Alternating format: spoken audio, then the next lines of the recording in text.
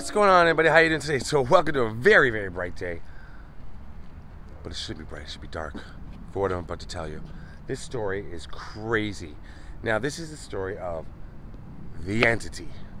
Now, the Entity was a movie in 1982 starring Barbara Hershey. What happened to you guys last night anyway? I was attacked. Is this the first time something like this has ever happened? No. Things have come to me. In the night. But it's based on a real life story. Now, of course, it's a haunting. It's a ghost story. Is it real? Is it Memorex? I don't know. I have a hard time believing certain things, but the story is crazy. We're gonna walk over to the house. I'm gonna show you it. I'm gonna tell you what supposedly happened here. See what we can see of the house. But this is the real life entity house. So the movie was based on this house. This is where it actually happened. All the stuff that I'm about to tell you that went down happened in this house right over here. And it's weird. It, it's it's a little graphic too. So if you can't handle that sort of thing, you can handle it. You can handle it. All right. So as we walk toward the house, I'm gonna tell you what happened here. There's a woman named Doris Bither. This is Braddock Drive here in Culver City, and she lived in a house here with her three kids. But one day she was in a bookstore, and not too far from here actually, and she overheard a couple of paranormal investigators talking about paranormal stuff. So she walked up to them and said she was having some paranormal problems of her own, very particular one. So the two paranormal investigators went to her house. Now the home was not very well kept, almost kind of in squalor, so to speak. And she didn't get along with her sons. I believe she had three, no, she had four kids. That's right. Now I'm thinking she had four kids. She had three boys. That's right. Because she didn't get along with any of the boys, but she got along with the little girl, who was the youngest, I believe. And she had a troubled past, this woman. She was abused by her parents as well as various romantic, um, you know, lovers, to use a word that's creepy, but yeah.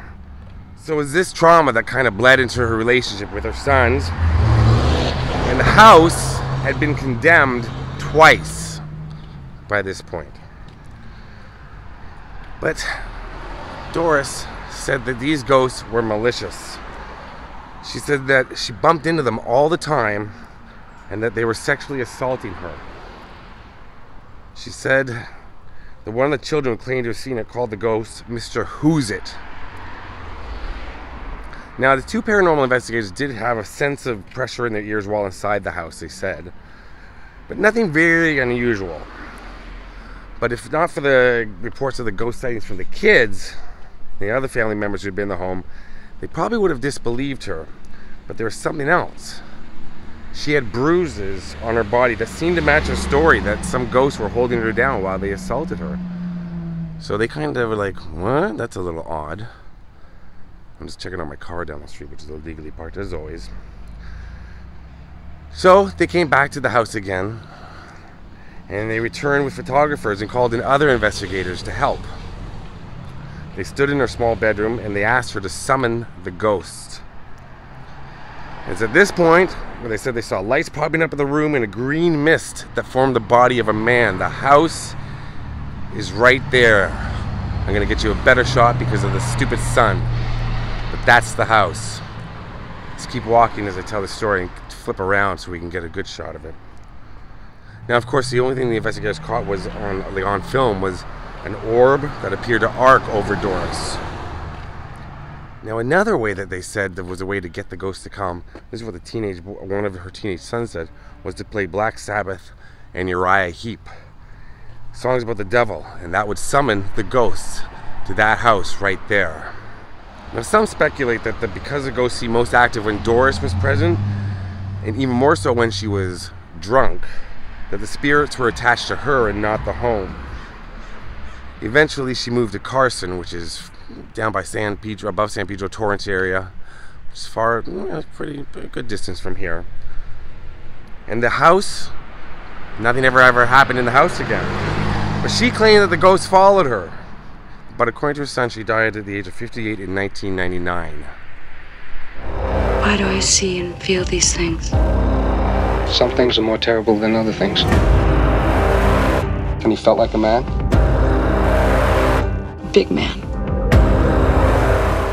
And there's also rumors that a, a woman came to uh, the house one time, knocked on the door while Doris was living here, warned her that there was an evil presence in the house. But we don't know if that's really true or not. But there it is. That's the famous entity house right there. So those real life hauntings. Look at this. I mean, it's just a normal little, nice house. But that sun, I'm telling you. I mean, it's a it's a look at the palm trees. Come on, it's a gorgeous little California bungalow. But what she claimed happened in there was pretty crazy.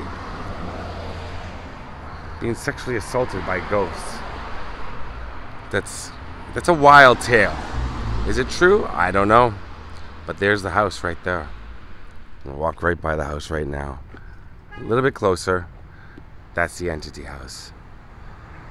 And that's about all I can tell you about this house, this spirit, and Doris. I don't know. Make your own decisions. All right, so that's the story of Doris Bither and the real life entity house. Did something happen there? I don't know. I'm a I'm a skeptic.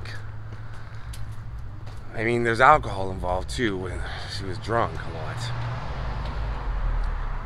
But still, it's an interesting story. They made a movie about it, so it has to be real, right? I don't know. Maybe it's real. Maybe it's not. Maybe the video's over. My name is Scott. I got bars. Well, for real, Doris, rest in peace. Uh, seems like she had a tough life and some sad, uh, I don't know, some weird experiences she had, but it seems that she had a tough life. So rest in peace, Doris. All right, peace. Will you appear to us now?